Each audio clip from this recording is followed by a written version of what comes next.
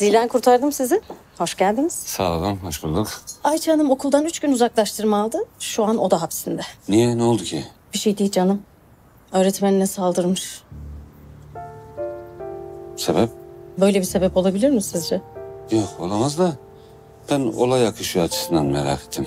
Buyurun ben mahkumu çağırayım. Olay akışını kendisi anlatsın size. Haydi hayırlısı.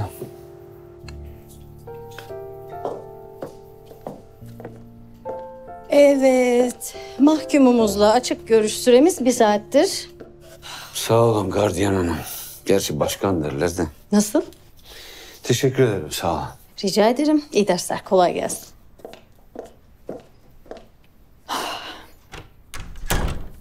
Gerçekten görüş gibi oldu da. Allah kurtarsın kardeş. Sağ olun. Niye düştün buraya? Yani ne oldu?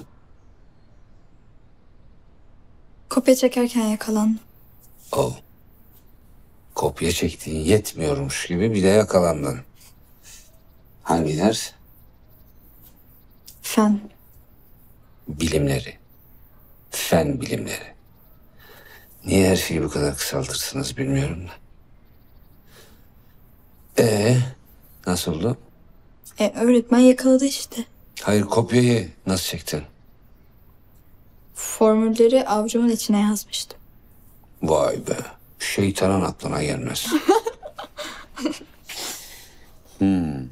Ee, Sonra birden bağırıp çağırmaya başladı hoca. Ben de sınıftan çıkmak istedim. izin vermedi. Ben de ittim. Hafifçe. öğretmeni ittin. Hafifçe. Ve annen de buna bayıldı tabii. Ya bizim okuldan burası 45 dakika yazıyor şeyde. Kadın üşenmedi. 45 dakika boyunca bağırdı bana ya. Düşünebiliyor musunuz? Hmm, düşünebiliyorum. Yüzünüze ne oldu bu arada? Bir öğrencimi kopya çekerken yakaladım. O da beni itti hafifçe.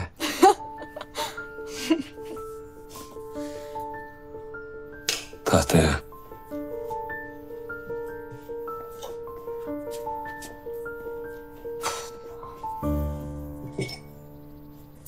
Yaz duygularını yaz.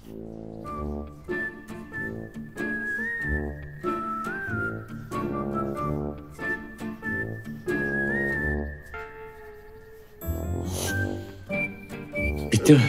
Bitti.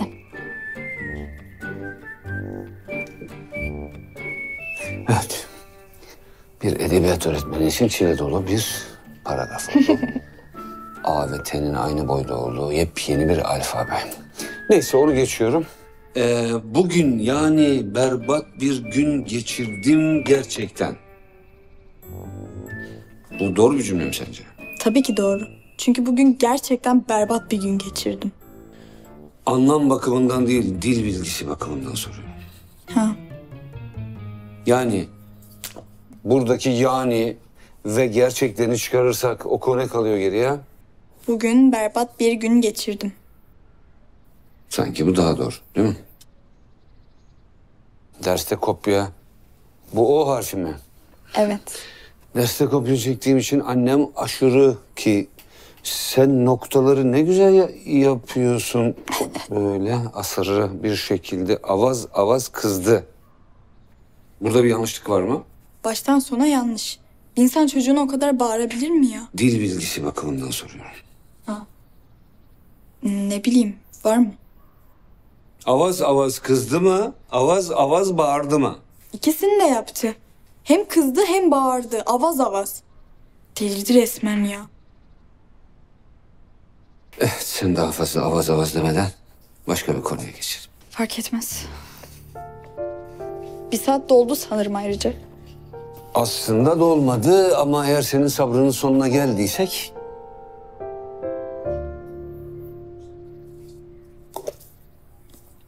Hocam, sizden bir şey isteyebilir miyim? Yani bunu itmeden yapacaksın tabii. Ya Söyle neymiş? telefonunuzu kullanabilir miyim? Annem benimkine el koydu da. Yani annenin koyduğu bir yasağı çiğnememi istiyorsun benden. böyle bir şey mümkün değil. Ancak ben şimdi dışarı çay içmeye gittiğimde sen telefonumu yani şurada unuttuğum telefonu benden habersiz kullanırsan ona da ben bir şey diyemem. Şifrenin 9999 olduğunu nereden öğrendiysen şifremle alay etme bu konularda çok yeniyim. Tamam. Ee, ama son bir soru daha çözeceğiz. Anlaştık. Belki de bu kitaptaki en güzel soru. Onun için özel işaretledim onu. Bu kitapları bazen böyle kıvırmazlar bazıları. Ben kıvırırım. Yaşanmışlık kadar. Evet. Soru şu.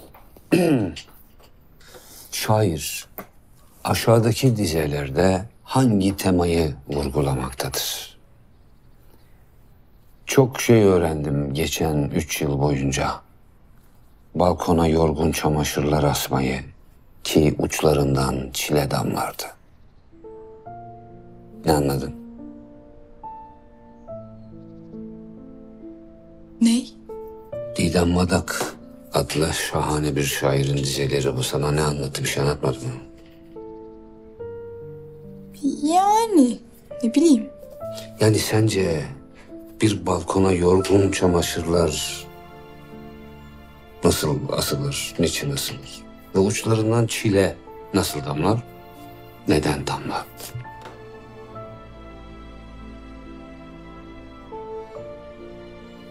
Şimdi kadın fakir değil mi?